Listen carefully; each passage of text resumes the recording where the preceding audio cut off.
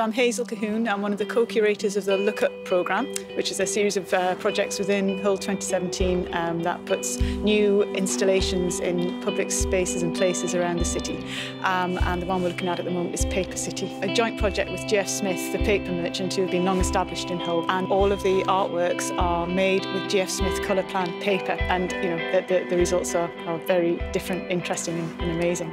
So we wanted to explore a new way of um, making paper architectural to make something that could stand up and be a very stiff structure at a large scale. So we started off by doing some experiments on the computer, modeling different kinds of geometries and finding a set of rules that would allow us to grow the kind of surfaces and geometry that we wanted from a set of um, fairly simple rules. Then we looked at a, a way of um, rationalizing that or making that buildable.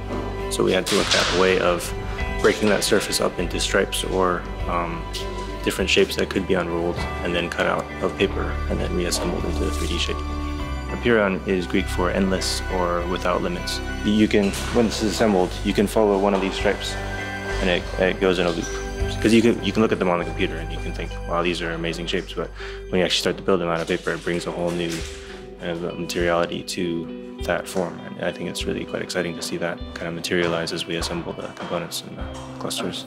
The way that paper can be used in so many different ways, I think is quite interesting to me. We are a Hull company. We've been trading in Hull for 132 years since George Frederick Smith started the business. Hull is in our roots. Um, we're fiercely proud of the city. So it's a real brilliant excuse to actually do something in Hull for the public of Hull, for our staff, but also to bring our customers here. GF Smith is all about um, coloured and textured papers. It's beautiful papers. Paper is about what you see. It's also about the touch. And, you know, paper is such a versatile medium. Every installation which artists have done, they're all so different that you, you actually see paper in its, in its pure beauty. I've been working with Colourplan and I was quite keen to make the most of this fantastic opportunity. Totally spoiled for choice. I'm one of those people who thinks if you don't have to make a choice, why choose? So the first thing was to decide to use every single colour. It's turned out to be the most extraordinary labour-intensive work, despite my thinking it was very simple. I work a lot with pattern, uh, but I always try and subvert it.